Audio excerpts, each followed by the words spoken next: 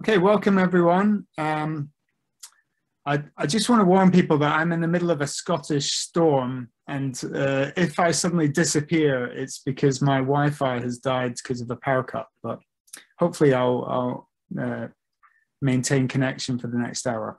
Um, so um, welcome to our Turing Spotlight session. So I'm Magnus Rattray, I'm director of our Institute for Data Science and AI, and I'm also the um, Turing University lead for Manchester. And uh, in these Spotlight sessions, we're introducing our new Turing Fellows who are going to talk about their research, and there'll be an opportunity for people to uh, ask questions at the end of each of these uh, two talks. And today we've got a bit of a um, health theme. Um, so the two speakers today are from the School of Health and the Division for Informatics, Imaging and Data Science in that school. And I'm very pleased to welcome Glen Martin to talk first. And Glen's going to talk about developing multivariate clinical prediction models for predicting multiple outcomes. And I should just say, if you have any questions, uh, it's a good idea to put them in the chat because then I can kind of uh, coordinate the Q&A at the end. Um, so just feel free to put them in the chat during the talk because it helps you remember your questions. And over to Glen. Thanks, Magnus. And yeah, great to be able to, well, virtually be here to, to give a talk uh, on some of my work and uh, look forward to the discussion afterwards. So as Magnus said, um, a lot of my work is in the certainly in the health space uh, and more specifically uh, looking at uh, developing clinical prediction models uh, within that that setting. So if we start by thinking about what a clinical prediction model is for anyone that's not familiar, um, well, this is essentially a screenshot of such a model called uh, QRisk.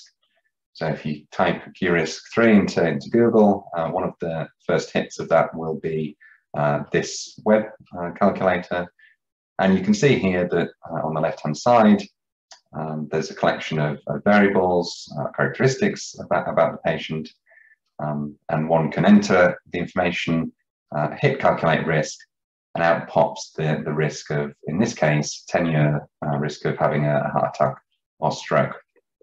Uh, and you can see that on the, on the right hand side here. And the reason I've used this uh, as an example is it's um, a type of prediction model that's used uh, within uh, clinical practice to, to guide statin use. But more generally, what a, a CPM is, is uh, essentially any statistical or machine learning model that takes a set of information about a patient as inputs and, and outputs the risk of some uh, event either being present, if it's a diagnostic model, or uh, whether it occurs in the future if it's a prognostic model.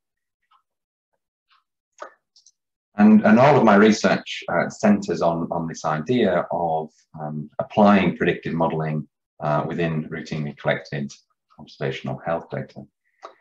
And what I see my, my work as being is, is split into to four parts, um, three of which are statistical or, methodological, uh, and the fourth is more applied. But on the, the statistical side of things, so I'm interested in um, looking at how we can understand and then perhaps more importantly model observational processes um, within uh, prediction models. So by that what I mean is things such as uh, how we handle missing data when we're developing these models uh, and the analog to that of uh, when we have informative or adaptive observation, how we um, incorporate that information into prediction as well. The second and third stream are closely related, so uh, these are all around the, the idea of uh, applying methods to try and optimize the development uh, of the prediction models, and I'll talk majority about that stream uh, today. Um, but then also then when we have the prediction model developed, how do we use it in clinical practice uh, carefully uh, and appropriately based on how well it, it performs. And then the fourth is, is actually the more applied angle of my work, and that's actually uh, developing these types of models for a range of different uh, clinical settings. But really, my talk today, I, I, thought it would be useful just to focus on uh, one example of the work, and, and that's looking at this idea of, of multiple outcome uh, risk prediction. So if we think about how um, CPMs are currently developed and, and used, um, this happens in, in what I call sort of silos of, uh, of information. So generally what happens is uh, a prediction model uh, or a team of, of um, developers or modelers will develop a prediction model in isolation um, on a particular data set and focused on a, a particular outcome. And so what results is a situation where we have, say, one model that aims to predict cardiovascular disease, like uh, risk from a couple of slides ago, um, and then other models that each predict separate things. So there might be a, a, another model that's predicting the risk of, of chronic kidney disease. And this happens in, in pockets. Now that situation is perfectly fine and, and valid if, if all we're interested in is predicting the mar marginal risk of, of any one of those, those outcomes. So if all I'm interested in saying is what is this patient's risk of developing cardiovascular disease in the next 10 years, irrespective of, of anything else that might happen about that patient, um, then this situation is okay.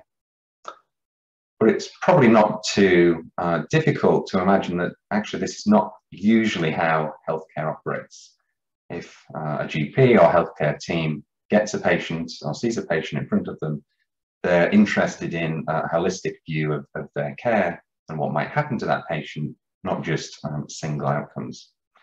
And so, in my view, there seems to be a, a bit of a disconnect between how the models are, are used or want to be used uh, and how they're actually uh, developed in practice. So, I just have two motivating examples to, to illustrate what I mean by that.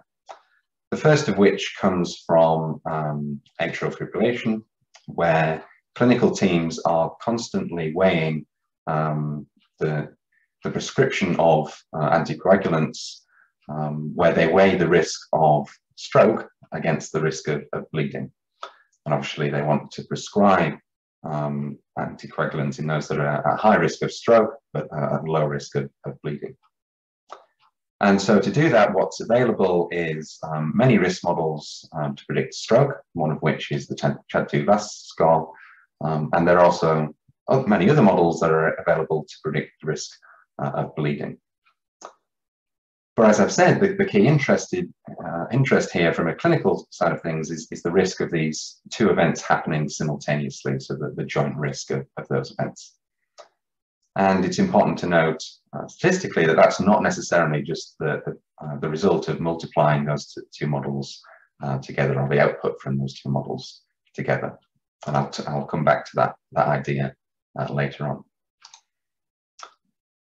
The second example is, is a little bit different, but this is more where we're interested in um, an outcome that we're wanting to split uh, granularity so uh, an example of this is in the context of, of cancer, um, whereby what we might be interested in predicting is whether a patient's tumour is benign, borderline, primary invasive or metastatic, rather than simply whether that uh, tumour is cancerous or not. Okay, so a more granular level of, uh, of information. So I would class this still as a multiple outcome because you have those, those multiple levels rather than it just being a, a, a binary. Now, this type of multiple outcome is particularly of interest if the clinical management um, differs uh, according to that, that granular risk assessment, uh, as is the case here.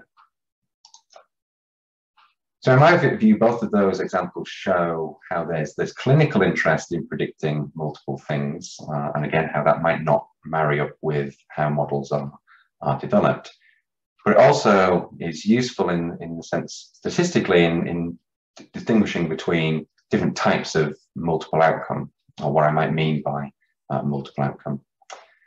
So the first is, is often called uh, multi-class outcomes where the individual can experience one of multiple possible outcomes or events uh, where each of those is, is mutually exclusive. And that would be akin to the uh, second example there of, of cancer, uh, tumor type, sorry. Slightly different to that would be a multi-label outcome. So this is where we're interested in predicting across uh, multiple things that might happen but where the occurrence of one of those things doesn't necessarily uh, prevent any of the others. And that would be uh, like the, the, first motivating example of uh, atrial fibrillation. And it's this second um, type of outcome that I'm going to be talking about um, today. So within that setting, what we're um, currently in a situation of is, is illustrated on this slide. So if we're interested in trying to predict the risk of, of two things happening, so A and B, say, what currently happens is we have a model uh, that's developed and validated for the first, uh, and correspondingly for uh, outcome B, and we can generate the risks from both of those things. And currently what we would do if we're interested in what's the probability of a patient having A and B, we would uh, multiply those risks uh, together. But we know from sort of probability 101 that that's only valid if, if those two events are uh, conditionally independent.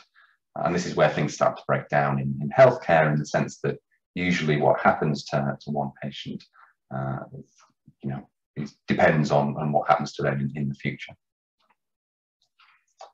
And so uh, a lot of my work is um, focused on trying to, to use modeling approaches that cor correctly account for the potential correlation between the outcomes, thereby allowing uh, an accurate estimate of uh, this joint risk, so the probability of, of both things happening, for instance. And so one way in which we can do that is to treat the, the combinations of each outcome uh, as a nominal outcome category uh, and pass that through uh, a multinomial uh, logistic regression model as shown here. So you can see here that uh, for each combination, I've got two binary outcomes in this uh, illustration, y1 and y2. And so there are, there are four possible outcome or combinations of what might happen for a patient. Uh, and so you can make a, a three-level multinomial logistic model, regressing all of the predictors uh, against uh, those categories, uh, and from which you can get accurate estimates of, of that joint risk. Now, for, for anyone that's statistically minded in, in, the audience, and I guess that's most of you, you're probably thinking, well, um, this is not a new idea um, multivariate or multi-outcome uh, regression or modeling has been around for many decades, and, and that is indeed true. And that's just illustrated on some of the slide uh, citations on this slide. I think what I'm interested in and, and what this paper was doing is, is thing, thinking, well, if we're in a prediction context, how what wrong can things go if we you know, take this current approach of just multiplying the risks together versus more complex um, but more statistically accurate um, methods. And that's what this paper was, was aiming to, to do. So this slide I'm not going to spend too long on, uh, just in the interests of time. Um, but essentially we compared within the paper two approaches that apply that sort of uh, standard way uh, that only rely on conditional independence and compared that against uh, four methods that uh, relax that assumption and, and correctly model the, uh, the multiple outcomes. And what we found um, within that paper, so that the, um, the figure here is just from a simulation in that, that paper, uh, where we had all of the, the methods on the, on the models on the x-axis uh, and different performance measures on the, the y-axis. Uh, and each panel is a level of uh, correlation between the outcomes. So when the uh, panel zero, the, the two outcomes are conditionally independent uh, and, and vice versa. And what we want is for the, the top row of plots, the, the value to be zero and the bottom row of plots, the value to be one. And what we can see is that the methods that um, rely on uh, conditional independence um, start to do quite badly. Okay, and, and what this is saying is that um, um, the top right here where it's showing is that the, the risk of both of those outcomes happening is being uh, systematically over um, under predicted. Sorry, okay, so we're under predicting that that joint risk. Okay, and, and you're only getting accurate estimates of joint risk when you uh, correctly model that that correlation. So that's probably unsurprising to, to many of you from a from a stats perspective. Um, but what's of interest to me is that this, you know, isn't commonly used in, in a prediction field. And so what I'm currently working on is, is trying to address that, that situation in the sense of trying to create both the methodology to, to underpin the use of these types of methods in prognostic modeling, um, but then also thinking about that from a more applied research perspective uh, and creating sort of guidance papers in that, that space to, to try and make this more accessible for, for a wider audience. I'm going to close the, the talk with just a, a, link to, to multimorbidity, which I know is of interest to, to many people, um, in the sense that this idea of predicting risk of, of multiple things happening is, um, is directly what's of interest in, in multimorbidity research. So if we're trying to, to predict or diagnose who has or who will develop uh, multiple long-term conditions, um, then you can essentially apply a lot of the techniques that I've been talking about um, to that setting. Obviously, within a, a context of multimorbidity, what we have is the, the, added element of time in, in this, this space. So people are developing conditions uh, through their through their life course. And so what I'm saying is that we can use methods called uh, multi-state uh, prediction models um, to, to do that. So you treat each state in that model as diagnosis of the condition in a cumulative sense. Uh, and from that, you can get all of the different joint probabilities that I was talking about uh, up until that point in time.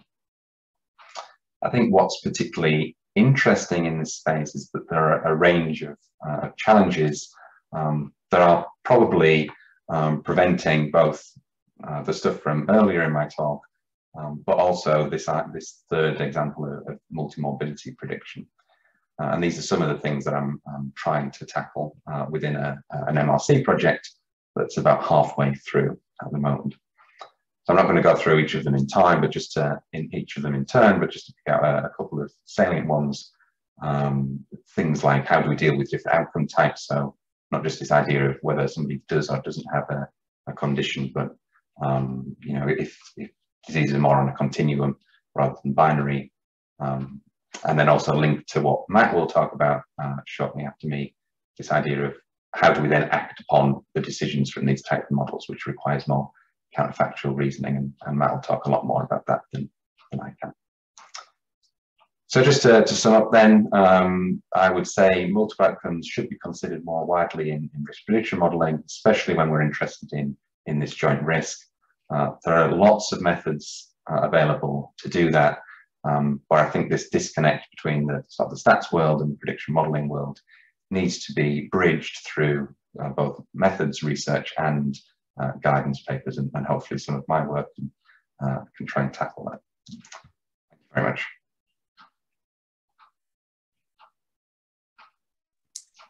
Thanks very much, Glen.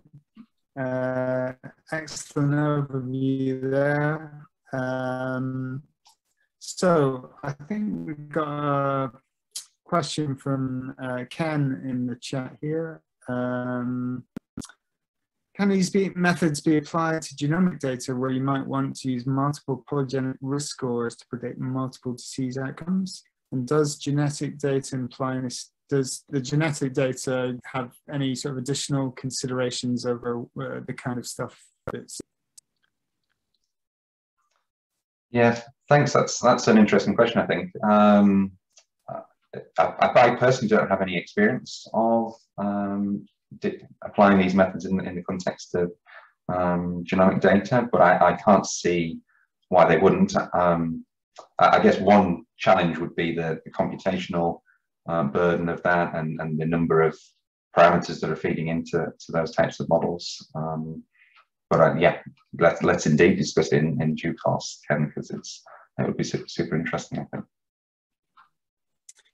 I've got a question myself, Glen. Um, does the um, do the models where you uh, get this improved uh, joint uh, kind of prediction, are they also better at marginal prediction or does it make no difference on the marginal prediction quality to do the joint inference?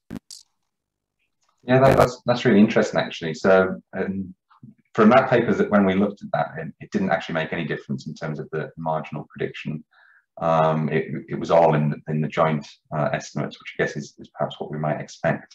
Um, some other work sort of, um, from separate groups has shown that it can actually help with predictor selection within some of those those groups. So by looking at the sort of the more granular information, you can actually, you know, through the predictor predictor selection, get a more tailored model for the for the marginal outcome in, in that setting. But that's not something we we looked at. Um, but it's yeah, I think it's interesting because.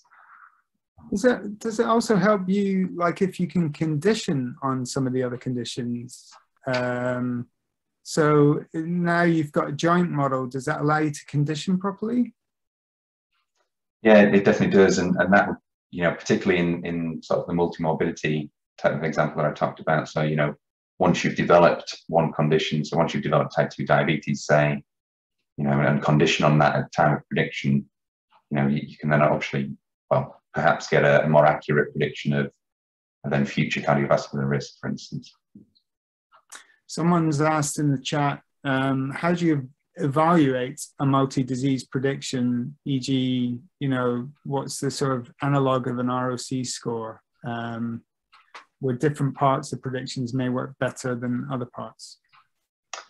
Yes, there's lots of different methods that are being proposed to, to extend all those sort of classic binary classification type assessments to, to this world. So the, the analog to uh, the ROC or area under the curve um, more generally would be the something called the PDI, um, which essentially just takes the AUC and applies that to, to multiple outcome levels. Um, and the, the corresponding things for things like calibration as well uh, which is all what I was showing on the, the slide.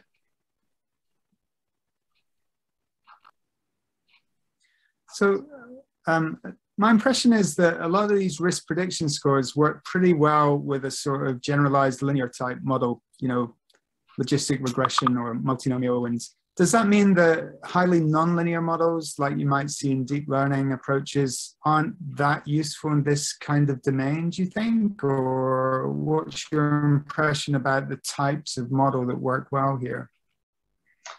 Yeah, another interesting question, Magnus. I, th I think um, I think actually to some extent some of those other methods that you mentioned do a better job of, of doing this than sort of classic regression. So um, a lot of the you know the network type models you can you can easily extend it where it's it directly outputs the, the multiple layers.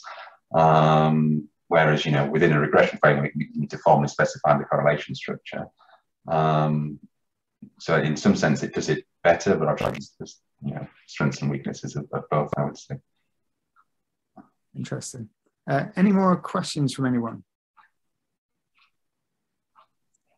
Great to see some questions in the chat. Keep putting questions in there.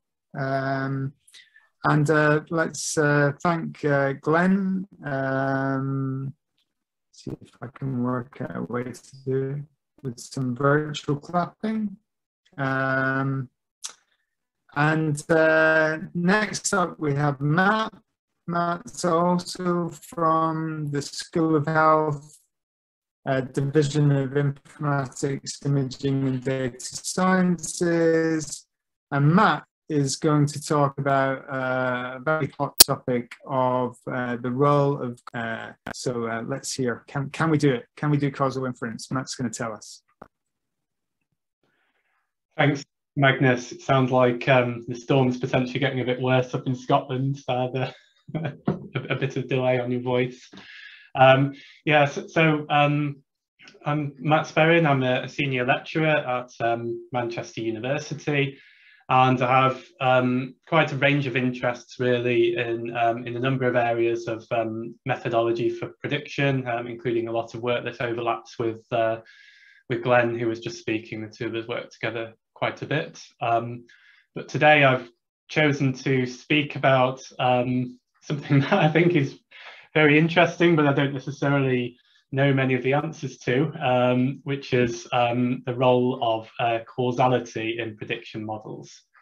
So Glen has already introduced um, prediction models, so, so that saves me from uh, dwelling on that too much. Um, but um, I will introduce one in the context of um, the uh, example that I'm going to, uh, in, in, terms of an example that motivates this idea. So I think Glen um, mentioned QRisk, which is quite a commonly used um, risk prediction model that's used in primary care in the UK, calculates risk, uh, cardiovascular risk. Um, and I, I, guess that where I'm sort of going with this is that, is that when we make these predictions, typically we're making these predictions because we want to support a decision. We're, we're not just learning what our risk is um, of cardiovascular disease just for interest. If it's high, then presumably some action is going to be taken. So we have um, this um, hypothetical patient here called Joe, who's various risk factors that have been entered into this calculator, and that gives some information about um, his cardiovascular risk. And clearly what happens now is that Joe or his uh, clinician are now going essentially pose potentially a series of questions. Um, and they're what if questions. So, um, so we've got this cardiovascular risk of 17%, so a 17% risk of developing a heart attack or stroke over the next 10 years. So we might say, well, what if I stopped smoking? How much would that reduce my risk? What if I lost some weight? Uh, what if I reduced my blood pressure, um, perhaps by taking an antihypertensive? Or what if I uh, took a, a cholesterol lowering medication like a statin? Um, so, so, so what we know, um, well, anecdotally at least, happens um, when these models are used um, in clinical practice um, is what you might call a plug-in or um, conditional probability type approach. So, so what will happen is, in, to answer the first question, what if I stop smoking? Um, the person using the tool might say, okay, well, let's just go back to um, the inputs that we put into the model, change current smoker to ex-smoker, and that will give me a new and different probability of the outcome. And perhaps we can interpret that as um, you know, as the sort of as the risk as what the risk would be if we intervened and, and stopped smoking, and the difference between the the you know the, the risk we've calculated and that new risk uh, could be the effect of smoking. Um, so that doesn't work, um, and you know the, the so the, the reason it doesn't work is is just purely because these are prediction models. They're not designed to answer these kind of questions. You know the, the coefficients of uh, an arbitrary regression model or, or, or um, any sort of model of this kind just don't have that interpretation and, and changing the inputs won't give us this interpretation in general. Um, this is closely related to what's called the table two fallacy, which is about if you're even if you're interested in a particular causal effect, you can't then go looking at the other um, betas uh, or hazard ratios in your model and interpreting those as well. So, um, you know, and as I should say, you know, this is no critique of the users of these models. This, this seems an entirely reasonable thing to do, um, to, to use this plugin approach. But yeah, unfortunately, it doesn't work. And it doesn't work because essentially there could be unmeasured confounding factors. There could be mediating factors. So perhaps stopping smoking causes you to uh, gain weight, and that would need taken into account too. So in short, um, causality is needed to solve problems of this kind. So because we're asking what if questions, we're talking about what happens if an intervention is made, then we need causality. Um, so, I mean, here's an, th this example, this is just showing, uh, this is another web tool that pretty much explicitly allows you to do this sort of plug-in approach and compare the risks. So here on the left, we have a, a high blood pressure and on the right another calculation with the blood pressure changed. So, so we can see that this sort of thing is happening. And as I say, it's, you know, it's no criticism of the users of these tools, um, you know, that, that, this is happening. Um, I'll skip that one. Um, and of course, uh, you know, as, as I was saying, the essentially the problem here is that a prediction model is just entirely focused on um, on making accurate predictions. So a prediction model can be essentially thought of as a black box. Um, so I mean, I'm oversimplifying a bit um, saying this, but uh, you know, this is essentially why we can use all these fancy machine learning methods that uh, that Magnus was hinting at in his question to Glen before. Um, you know, we, we can use a deep learning algorithm or something because we don't necessarily care what's happening under the hood of this model, we just want an accurate prediction. Whereas when we're doing causal inference, we're typically very uh, concerned about the role and of, of all the variables and the causal relationships between them all so that we can appropriately estimate the uh, causal effects that we're interested in. So besides being able to use models um, to explicitly get these sorts of contrasts, um, so, so, some people might argue, well, okay, if I use a risk score that, uh, that tells me that a risk is high, then I just know that I need to take some steps to reduce that risk. Um, and the challenge there is that it, it, can become a bit unclear what the estimand is of, of, um, of such a prediction model. So to show that think about this example. So suppose we have um, an individual with some baseline variables L, and we predict an outcome Y, which might be cardiovascular disease.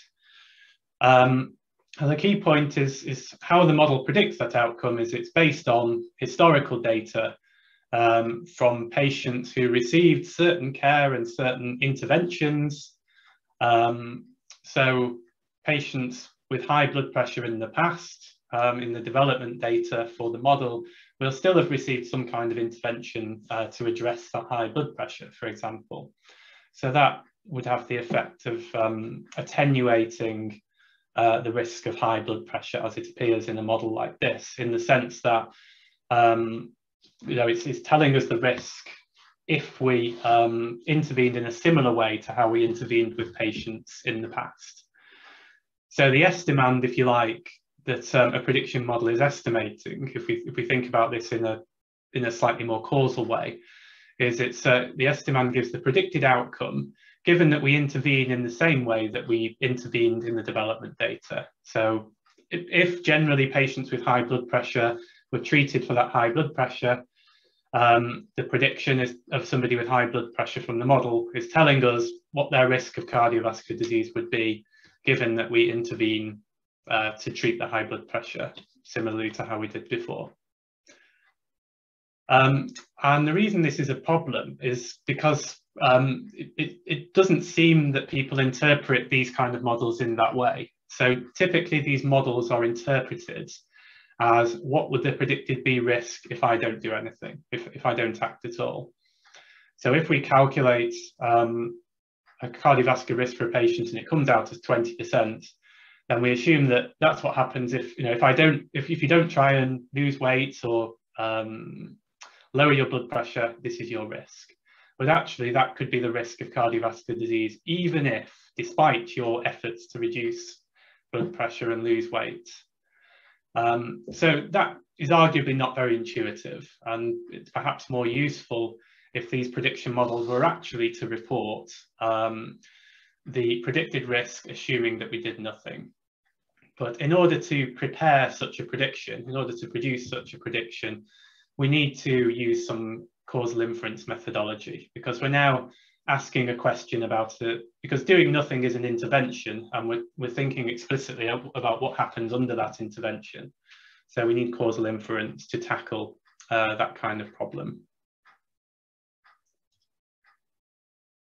So just to give a, a brief COVID example, um, so a number of scores developed over the last, um, well, nearly two years or so now to, um, to sort of triage patients or calculate risks of patients um, of getting or having bad outcomes from COVID-19 in various contexts.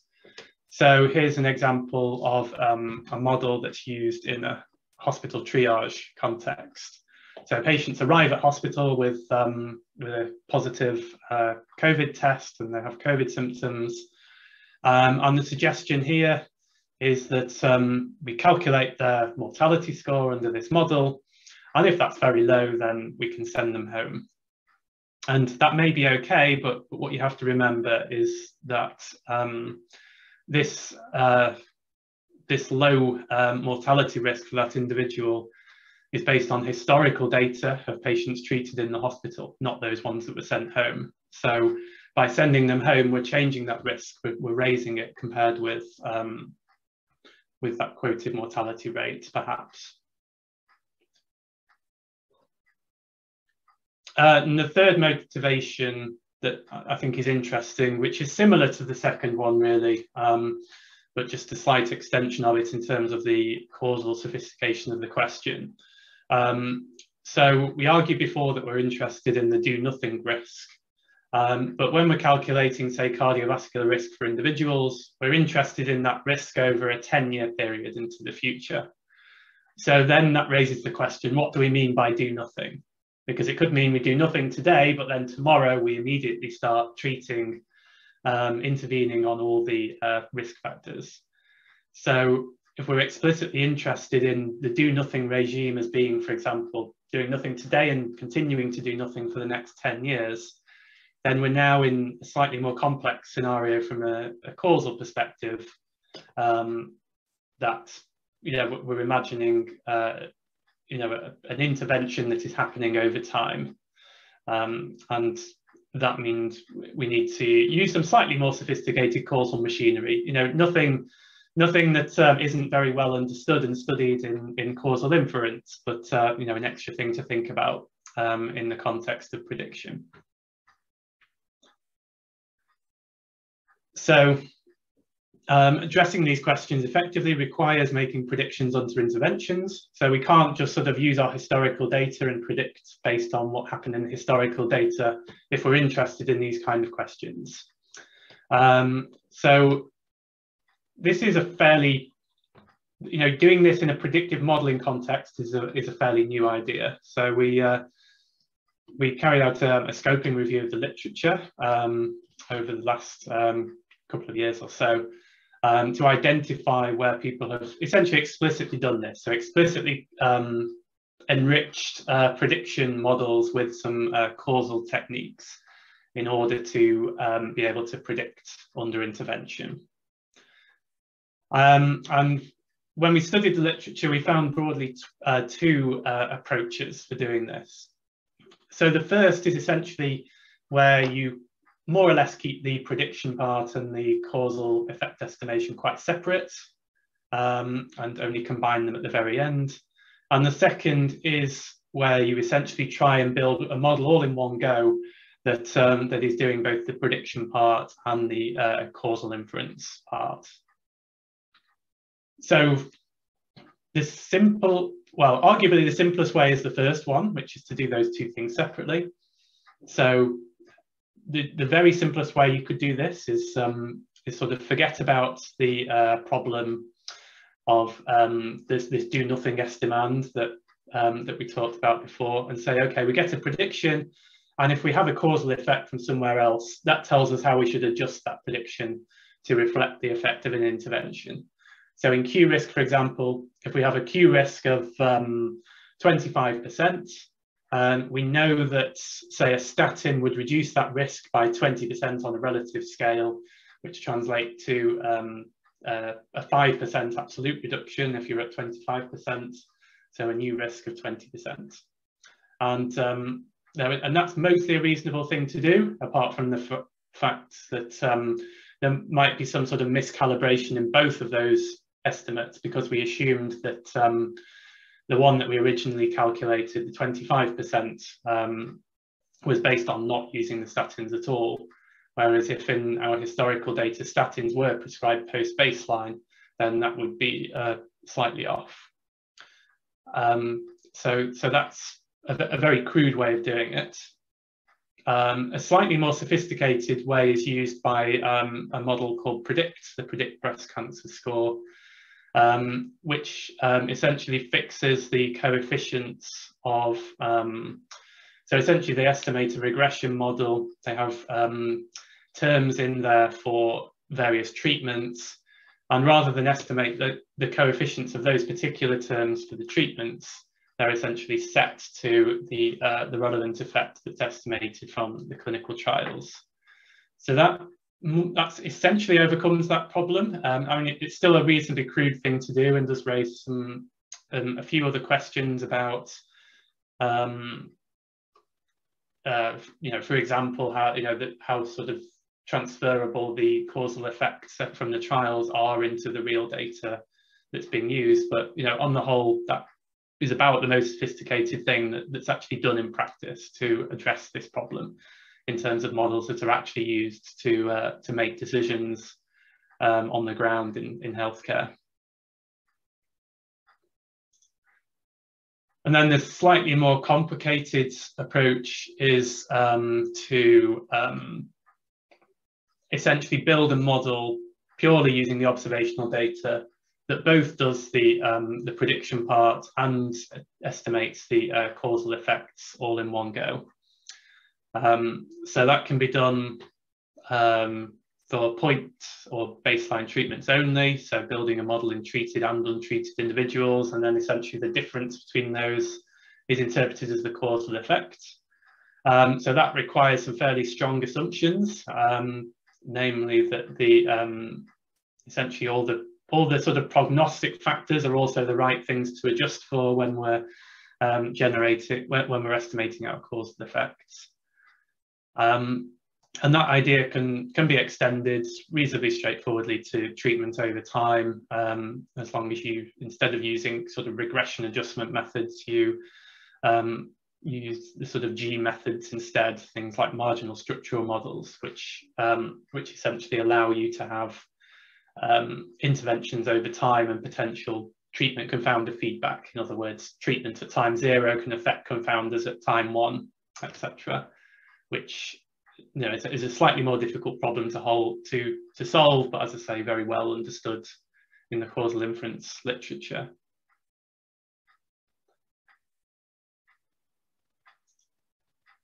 So another um, aspect that I think is very interesting here is um, what's sometimes called the prediction paradox, uh, or in machine learning, this is called performative prediction.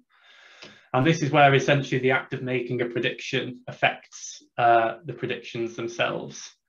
Um, so the picture on the left, this is um, Hari Seldon from um, Isaac Asimov's uh, Foundation series, which is a science fiction um, series. And essentially, Hari Seldon um, can predict the future, um, but the caveat is that he can't tell anyone what those predictions are, because if he tells anyone what the predictions are, then they no longer come true. Uh, and you can see that the same sort of thing can happen um, in healthcare. So as soon as you predict risk in some in an individual, they change their behavior to modify that risk. Or a stronger, another sort of version of that is what's laid out in these bullets. So if you imagine you have um, a high, a, a, a, group of patients who have high risk if no action is taken. Um, so we have some historical data where we didn't know any, anything to do about these high risk patients. So now we fit a model and that those patients will be classified as high risk. Um, we deploy that model into practice. And because those patients are now high risk, we think we better intervene on them. Um, and we do so and avoid bad outcomes. Um, now we realize that our new model is not doing so well at predicting because um, it's over predicting, particularly in these sorts of groups. So we refit the model. Um, this group of patients is now classified as low risk, which seems appropriate because not many of them are having the outcome. But the problem is that this new model now goes into practice. These patients are then calculated as being at low risk, and therefore we think, okay, look, we don't need to intervene on those patients. Um, and then they have bad outcomes again. So you get into these sort of oscillations um, between um, intervening and not intervening in certain groups which again, you know, if, if you think about this problem causally, that avoids those sorts of problems. Um, and a couple of other uh, thing potential benefits that uh, that that um, you know, we're, we're, thinking about and, and I think could be quite interesting. So the first one is um, embedding, you know, thinking about fairness of decisions based on prediction models. So this is, um, so th thinking about this from the perspective of if we have, say, people from different um, ethnic groups or men versus women, then um, in what ways should those protected characteristics influence our prediction or the way that we act based on a prediction from a model?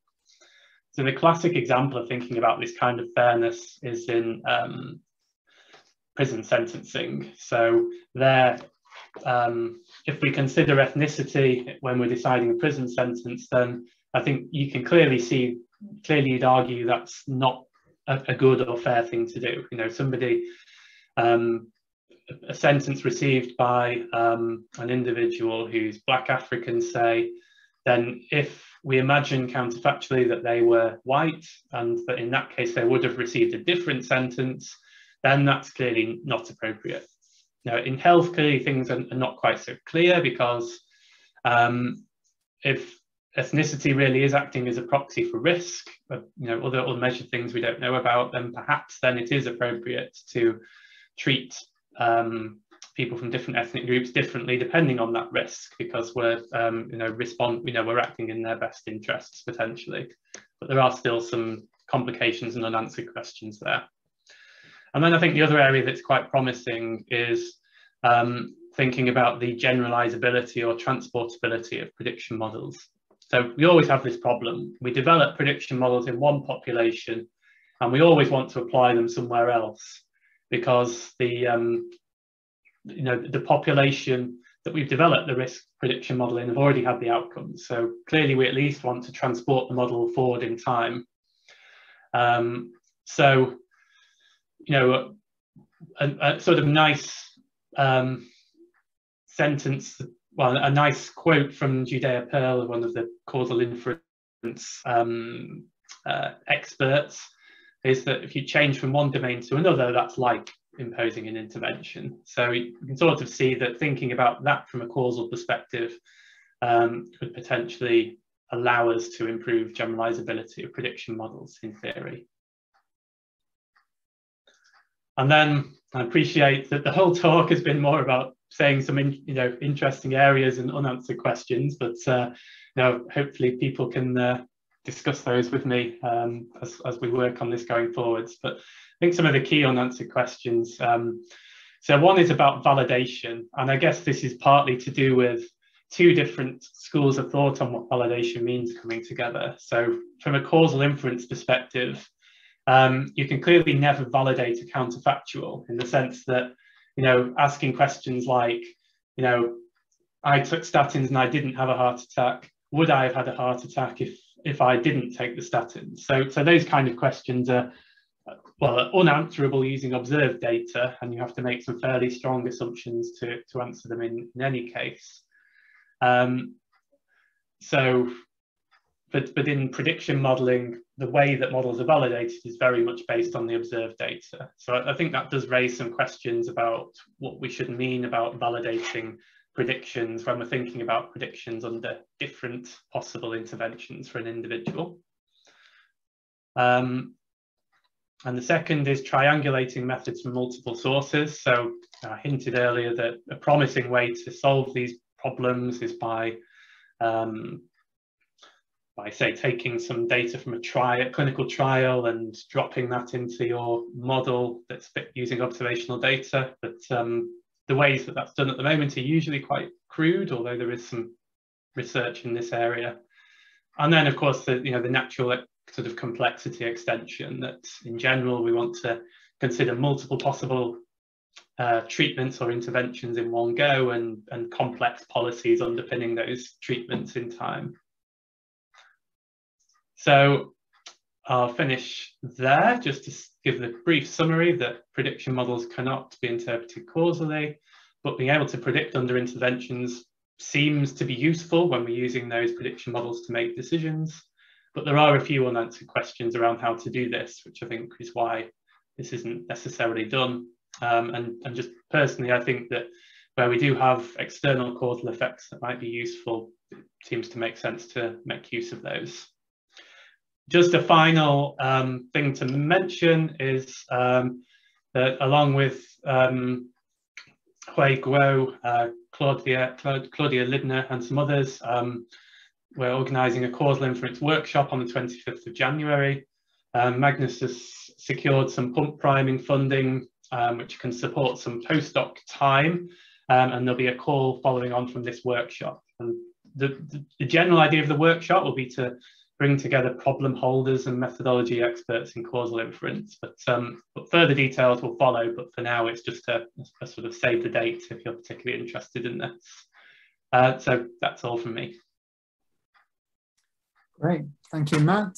Um, so uh, Ken has a question, and I think I'll pass over to Ken to ask it.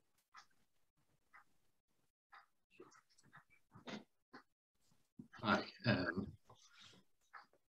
thanks, Matt. Can you hear me okay? Yeah. Yeah.